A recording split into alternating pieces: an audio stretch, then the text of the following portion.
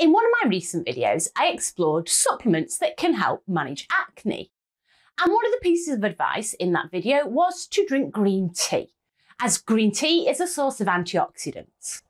Now, if you don't like green tea, is there an alternative? Well, yes, there is. So green tea can very easily be used in your day-to-day -day skincare regime. And it's really useful if you suffer from acne or any other skin complaints. So keep watching as I explore my three favourite ways to use green tea in skincare. As always, if you do enjoy this video, don't forget to subscribe and hit the bell so you get notifications when we release more.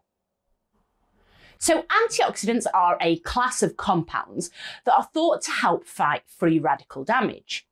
And free radicals are produced under various situations. But in the case of acne, free radicals are produced because of the inflammation caused by acne. So green tea is a source of an antioxidant called catechins. Now, green tea and white tea are both sources of this antioxidant, but green tea is more readily available. So the first way you can use green tea in your skincare regime is by adding green tea to your skin steaming regime. So skin steaming is a method which uses hot water, well, the steam from hot water, to help open up pores and follicles on the skin, making it easier to remove dirt, debris and oils. So to use green tea, simply add one green tea bag into a basin of hot water and then use that steam on the face to help open up pores and follicles. You can also add essential oils into this mix too. So for instance, chamomile or lavender. The second suggestion is using green tea to make a skin toner. So toners are often used after cleansing the skin to help reduce the size of pores and follicles, preventing dirt, debris and oil from building back up into them. So to make your toner, all you need is hot water, one green tea bag and tea tree essential oil. So pop your tea bag into a mug and add hot water. Leave that to cool. Once cool, add five drops of tea tree oil and then use as a toner.